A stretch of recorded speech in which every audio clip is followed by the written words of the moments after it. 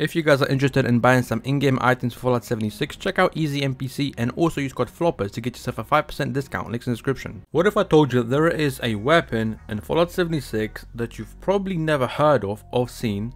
It's technically in the game and it isn't and it's because it's a gun that was cut out. Now unfortunately, this gun is only accessible through the power of exploitation and hacking and the gun itself is called the Black Knight. Now as you guys can see on the screen here, this gun is sort of like an old World War II weapon that unfortunately has been cut out of the game. It's still in the file and again you can only access the actual weapon itself through exploitation but this weapon again because it's a cut weapon there isn't an actual effect on it that I was able to access. Now Someone actually gave me two of these weapons to show you guys and you know be able to display this awesome weapon because it technically is a gun that isn't really functioning. It's like a reskin of a gun at this point because again it used to be functioning before like multiple updates long time ago you were able to actually you know have the actual animations function properly but because it's a cut contents weapon it basically doesn't have the mechanics anymore. It's just a skin.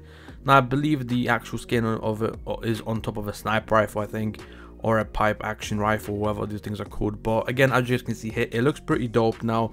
It's an SMG originally and the ones I have are hacked. They don't really have the actual modifications that are required with the weapon. So I do have some legendary variants of the weapon.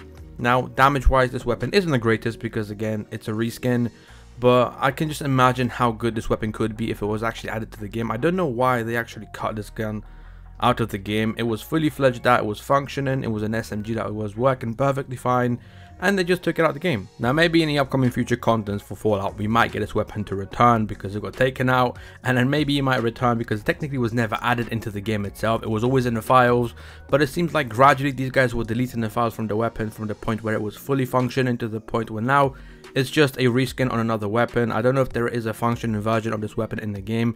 Maybe for a hacker, you could DM me and let me know. Just comment down below because again, I'm quite curious about these weapons and I find it a little bit annoying where developers, you know, develop these things, these awesome weapons, and they just cut them out the game for no reason, especially at the point this gun was, you know, ready to be launched into the game and they just took it out. So it's kind of a bummer, but what can you do? You know, developers know better than us, therefore maybe it was functioning incorrectly, maybe it was bugged out, or maybe they never got it to work properly the way they intended this weapon to work. But again, it's pretty sad to see a weapon, again, that was fully developed and just gradually being tearing apart, which is annoying.